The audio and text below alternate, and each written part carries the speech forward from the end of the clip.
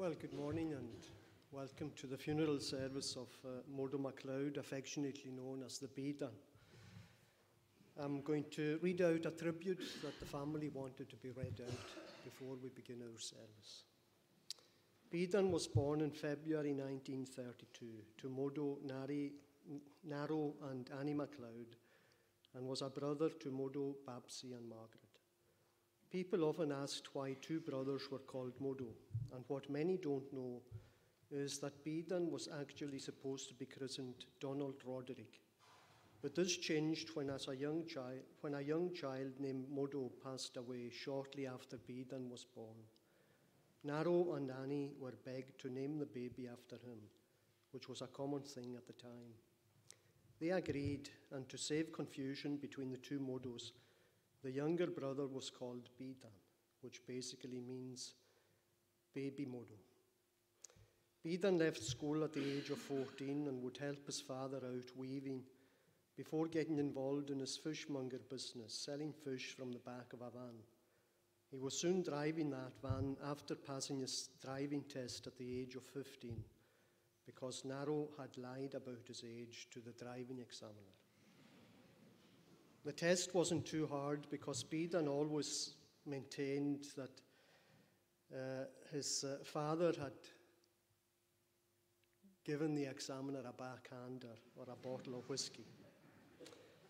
When Biodan turned 17, he chose the Royal Navy Reserve over national service, as he always had a close connection with the sea after working on his father's boats. This was to lead to a career in the Merchant Navy where he travelled all over the world. But his favourite destination was always New Zealand, a country he loved so much and where all Hebridean sailors were welcomed, as there were so many expat islanders living there at the time. Although he thought about moving there, the call of home was always too strong. Biodan would always return home to work during the summer driving lorries to and from Oog and taking peats home for many of the people in the Point district. During one of those summers home, Biodan was on the bus and spotted a lovely young girl, as he said himself, with black hair and rosy, rosy cheeks, and he went to chat her up. After many knockbacks from the girl, Biodan persistence paid off, and she agreed to go out on a date with him to the picture house. That girl was Dolly Frances Macaulay, and she went on to become his loving wife for 53 years until her passing in 2015.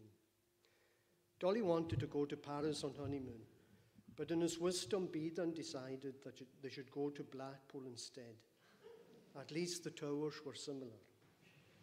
During the honeymoon, he found out that Blackpool Football Club, who were a big team at the time, were playing and asked Dolly if she wanted to go to the game. He was very romantic. She declined, but he gave her money and she went and bought herself a lovely green coat, so everybody was happy. After marrying, Biodan gave up his life at sea to be at home with his wife. He took over a mobile butcher business in 1963 and did this until he retired in 1997. Although it was very hard work, Biodan loved his job and liked nothing more than meeting his customers every day, from Tiumpan Head to Park End. He had a smile for them all and was so well known to everybody in the district. Away from work, Point Football Club played a massive part in Biodan's life, and he was involved with them for over 80 years. From seeing his first game in 1940s to playing, managing, and being chairman, and becoming one of the infamous Grumblies, a group of the team's staunchest supporters and also their biggest critics. He was still watching the games this season with his old pal Tonkan up until a few weeks ago and was immensely proud that he got to see his 16 year old grandson, Daniel, playing regularly and scoring goals for the Reds. Biodan and Dolly had three children Elaine, Ian Murdo, and Ross. And they loved how close the siblings have always been, like best friends as well as family. Family meant the world to Biodan, and he, was all, and he always said that there should never be a crossword had between the family, something that has stuck strongly with them and words they will always follow.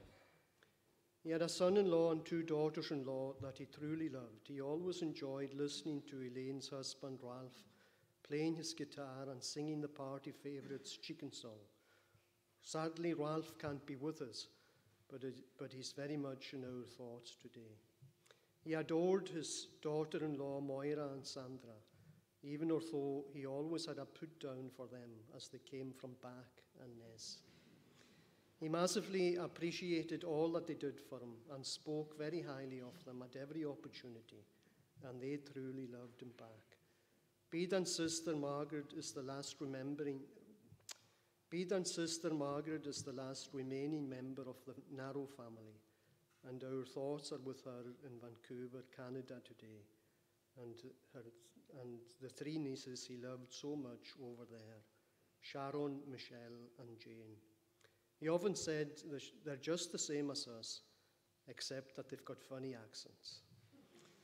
Biodan had six grandchildren and three great grandchildren that he absolutely adored Emma, Sophie, Laura, Alaith, Daniel, Luke, Reese, Cohen, and little Robin, who brought the biggest smile to his face whenever they visited, and he loved spoiling them rotten. They now have a big gap in their lives, excuse me, but many happy memories. Biodan was a loving father, father in law, uncle, papa, and friend to so many, and he will be sorely missed and always remembered. We're going to begin our worship now by singing in the first psalm that you have in your order of service, Psalm 107, and we're going to sing in Gaelic.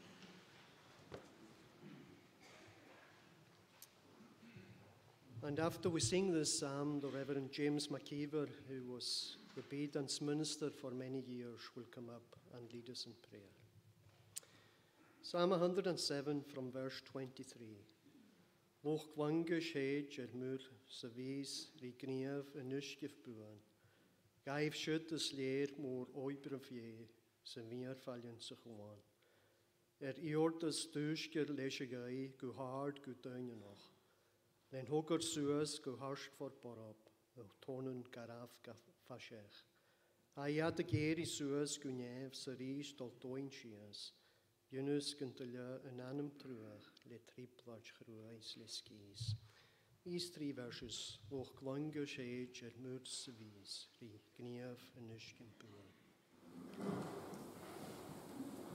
O,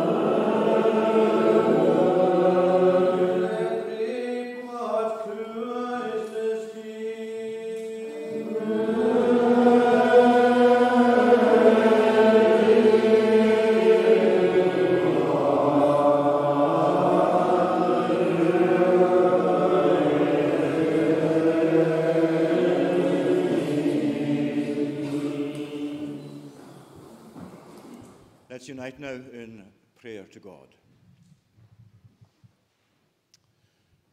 O Lord, our gracious God, we know it is our privilege at all times to worship you.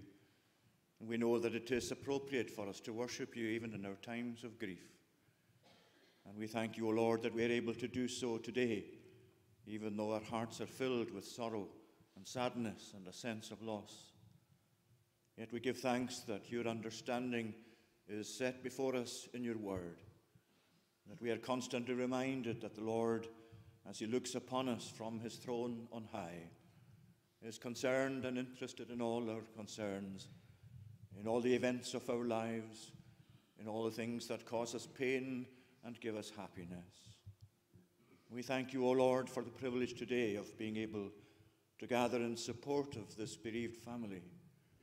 And we thank you for the sense of uh, support that we give to them, the sense of being able to come and share with them in their time of grief and sorrow.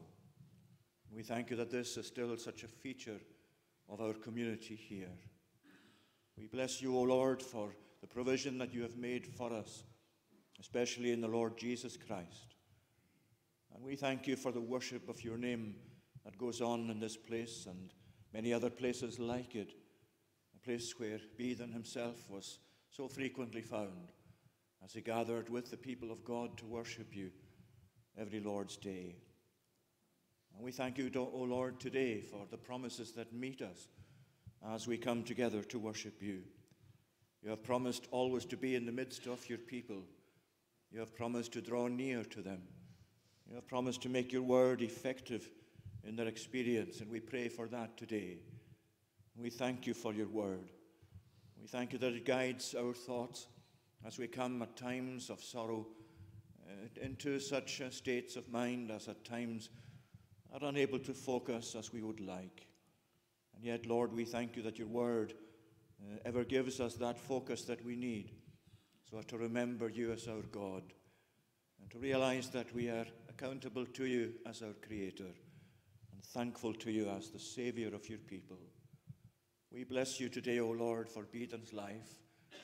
We thank you for the many pleasant memories we have of him for the many times that we engaged in happy conversation, for the support that he gave to the gospel here, the way that he so often frequently made mention to myself of how happy he was to be part of the congregation. And we thank you, O Lord, too, for the warmth of the home that he shared with Dolly and for the way in which they were so genuinely welcoming of any time we visited them there. And we give thanks, Lord, for these qualities. And we know that they're precious, Lord, to his family especially, but to so many, many others that came to know Biodan through the course of his life. We thank you for his contribution to this community particularly. We thank you for the various ways in which he engaged with people, in the different ways in which he worked, uh, well, beginning in the selling of, of fish and through to his time as a butcher We give thanks for the respect in which he was held and for the way that he genuinely cared for people and for uh, the way in which he sought to help them from day to day in different ways practically. And we thank you too, O Lord, for his family and pray that you would bless them here and those who are not able to be here as they mourn Biodan's passing.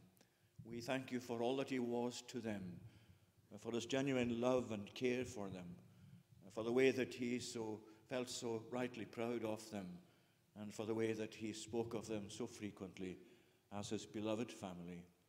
We pray, O Lord, as they mourn his passing, that you'd be pleased today to draw near to them, to bless them and to comfort them, to encourage and to console them, and to give them, Lord, the strength they need at this time as they deal with the, uh, with uh, the effects of Biodan's passing from their midst. We pray for Elaine and for Ralph. We pray for Gogo and Moira. Uh, we pray, O oh Lord, too, for Ross and Sandra. Uh, pray for their children, all the grandchildren, all the great grandchildren. We commend them to you, O Lord, as one who, miss, who will miss such a beloved father and father in law and papa. We pray too for his sister, Margaret, in Canada. asking that you be near to her, Lord, at such a distance from this service of worship, and yet so close in her thoughts and in her memories at this time. Bless her, we pray, and all her family there too, uh, nephews and nieces. We pray that you would graciously uh, provide for them, O Lord, as only you can. We ask your blessing for this congregation, this community that Biodan so loved. And we pray that your blessing in the gospel will continue and even increasingly be their portion. And we do ask, O Lord, that as uh, uh, from week to week your people gather in worship here in this district, uh, so you'd be pleased to show yourself as a gracious God to them. And provide with us, Lord, we pray, the, the blessings in the gospel that we need, so that we too will be prepared for the end of our course in this life. Lord, may it be for us that we will truly come to uh, avail ourselves savingly of the provision you make for us in the gospel. And graciously grant your blessing now. Continue to bless your servant here as he ministers to this congregation. And grant to him, O Lord, that the Holy Spirit may use his services to the end of many being saved. Receive our thanks, we pray now. Pardon our sins and cleanse us for Jesus' sake. Amen.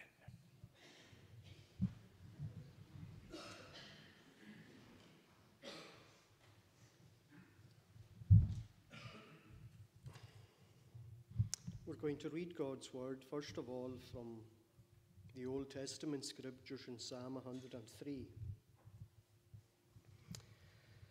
Bless the Lord, O my soul, and all that is within me. Bless his holy name. Bless the Lord, O my soul, and forget not all his benefits, who forgives all your iniquity, who heals all your diseases, who redeems your life from the pit who crowns you with steadfast love and mercy, who satisfies you with good, so that your youth is renewed like the eagles.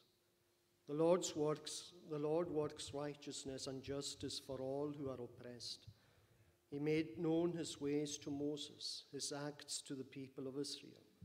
The Lord is merciful and gracious, slow to anger and abounding in steadfast love. He will not always chide, nor will he keep his anger forever. He does not deal with us according to our sins, nor repay us according to our iniquities. For as high as the heavens are above the earth, so great is his steadfast love towards those who fear him. As far as the east is from the west, so far does he remove our transgressions from us. As a father shows compassion to his children, so the Lord shows compassion to those who fear him. For he knows our frame. He remembers that we are dust. As for man, his days are like grass. He flourishes like a flower of the field. For the wind passes over it, and it is gone, and its place knows it no more. But the steadfast love of the Lord is from everlasting to everlasting on those who fear him, and his righteousness to children's children to those who keep his covenant and remember to do his commandments. The Lord has established his throne in the heavens, and his kingdom rules over all. Bless the Lord, all you his angels, you mighty ones, who do his word, obeying the voice of his word. Bless the Lord, all his hosts. His ministers who do his will. Bless the Lord, all his works in all places of his dominion. Bless the Lord, O my soul. And we're going to read from the New Testament scriptures in Paul's letter to the Romans at chapter 8. There is therefore now no condemnation to those who are in Christ Jesus. For the law of the Spirit of life has set you free in Christ Jesus from the law of sin and death. For God has done what the law, weakened by the flesh, could not do, by sending his own Son in the likeness of sinful flesh, and for sin. He condemned sin in the flesh, in order that the righteous requirements of the law might be fulfilled in us, who walk not according to the flesh, but according to the Spirit. For those who live according to the flesh set their minds on the things of the flesh But those who live according to the Spirit set their minds on the things of the Spirit.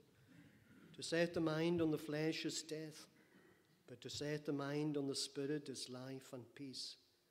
For the mind that is set on the flesh is hostile towards God, for it does not submit to God's law, indeed it cannot.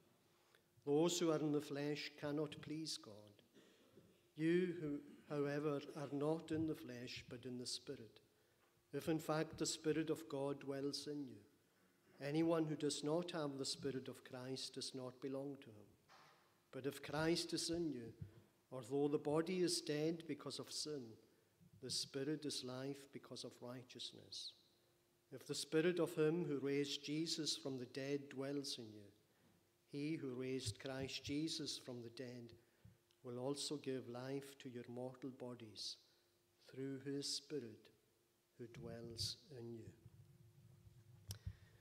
Now I'm going to ask the Reverend Colin MacLeod, whose father was uh, Modualik MacLeod, a first cousin of the Biodans, to come up and lead us in prayer.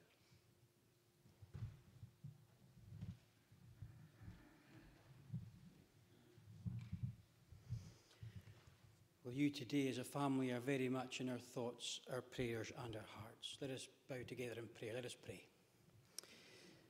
Almighty God, we come to you this time seeking your face, seeking your presence, longing for your grace, your mercy, and your peace.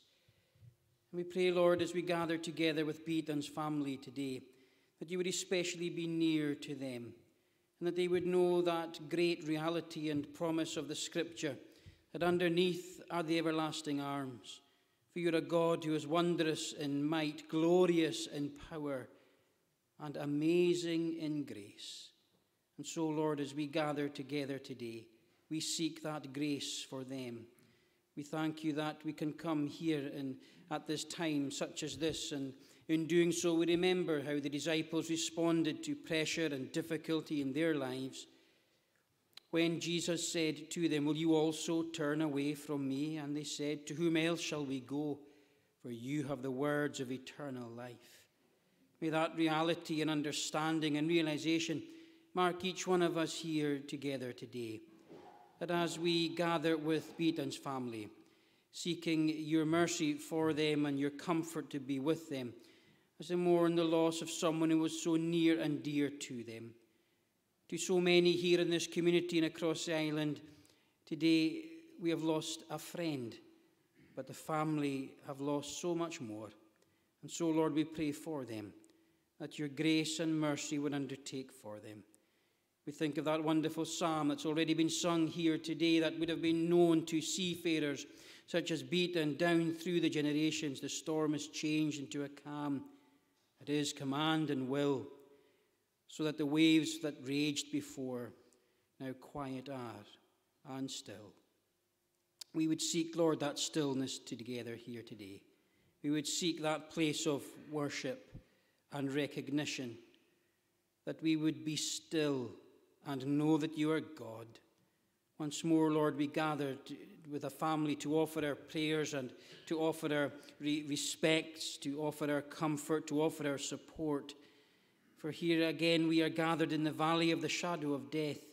Once more we are being reminded of our own frailty, that we do not have forever, that there is a time appointed unto all, and that there is a time coming where either death will find us or the judgment seat of Christ. Uh, and Lord, we pray that we might seek to be ready for that time above all. And we thank you and give thanks that that's a message that Biodan heard all his life a message of grace, a message of forgiveness, declared in the gospel of Jesus Christ, who in his mercy says to each and every one, Come to me, and I will give you rest. We thank you for that wonderful message, that great invitation from our wonderful Saviour, who stays closer than a brother, who calls sinners to repentance. Indeed, he was criticized, he was abused, he was maligned, he was degraded, he was despised and rejected and humiliated because he was and is the friend of sinners. how his critics loved to point out his faults, how his enemies rounded on him for seeking out the lost and the marginalized. But that is our amazing Saviour. That is amazing grace. And so we thank you, Lord, today that we meet in the light of that gospel. A gospel that the disciples would reflect upon in later years and say, We beheld his glory, but also they beheld his grace, his touch, his compassion, his tenderness, his love, his patience, his long suffering, his goodness, gentleness. They saw him in, at his best in prayer. They saw him at his most glorious in drawing sinners to himself. They saw him in agony on the cross. And they saw him again that first Easter day, that death could not hold him, and death would not have the final say over Jesus of Nazareth. And Lord, we remember today that death will not have the last say over any of us, over Biodan or any of us gathered here today. For that last word will belongs to Christ, the righteous judge who calls us to an account, who calls us to meet with him. And we thank you that while we think of that scene of the great throne room, of the judgment seat, we thank you for the one who sits on that seat, Jesus Christ the righteous. And so, Lord, in your mercy, remember us all today and bless to our hearts the truth of this wonderful gospel and the reality of a risen Saviour who offers us peace and solace by the Holy Spirit and may it please you, Lord, that the Spirit Himself would move in the hearts and keep the minds of this family here together, to, especially today. We remember those who can't be here, the family members who couldn't travel, those who are far away but are able to join through live stream. Lord, be near to them.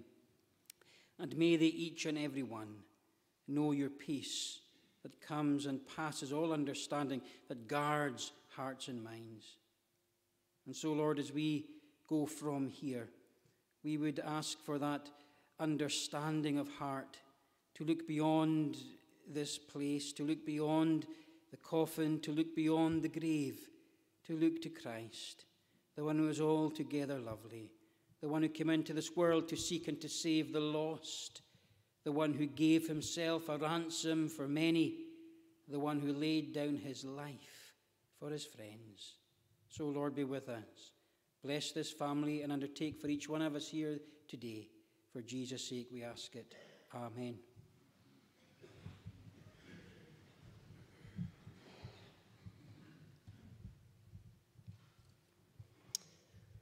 Well, as we've heard and as we all know, Biodan was highly respected by everybody that knew him.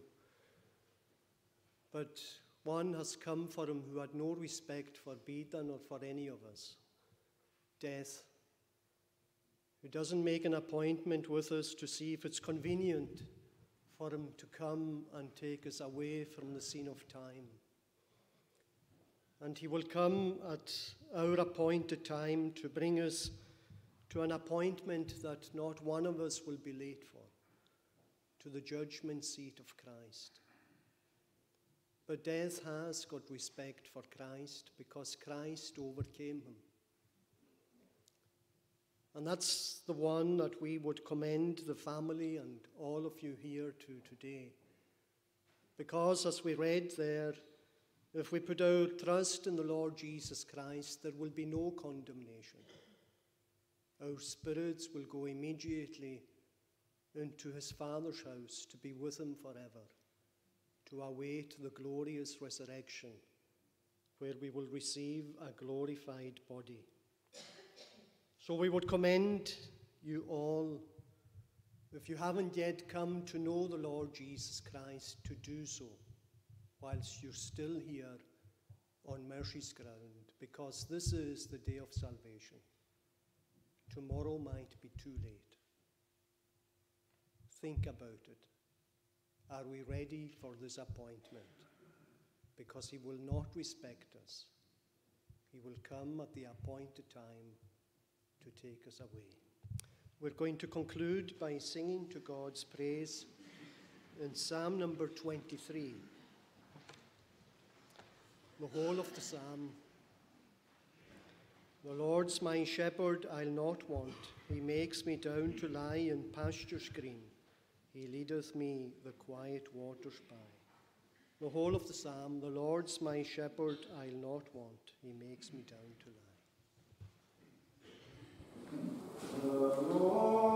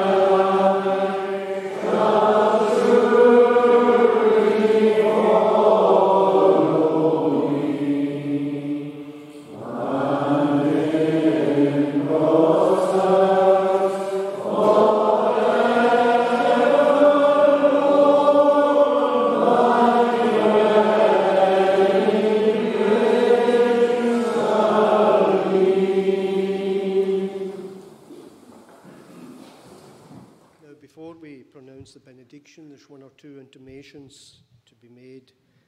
On the way to the cemetery, the hearse will stop for a few moments at Judy for any who wish to pay their last respects to him there.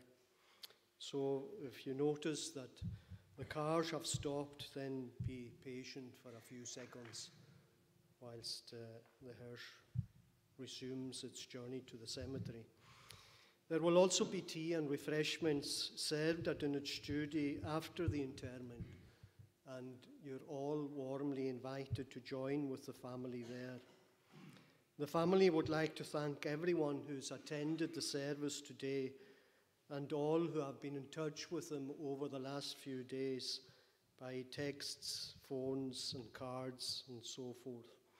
They want to also thank the staff at the hospital and Bethesda for the care that Murdo Biodan received since he became ill. And there's a collection taken on the way out, and possibly some of you put it in on the way in for Bethesda Hospice. These are all the intimation. Let us stand for the benediction. Our gracious and ever blessed God, we come before you to give thanks for the many tokens of goodness that you show to us every day of our lives. We give you thanks for the refreshments that are going to be served at Judy after the interment. And we ask, O Lord, that you would bless it to the physical needs of our bodies, that you would help us to use these bodies to your own glory.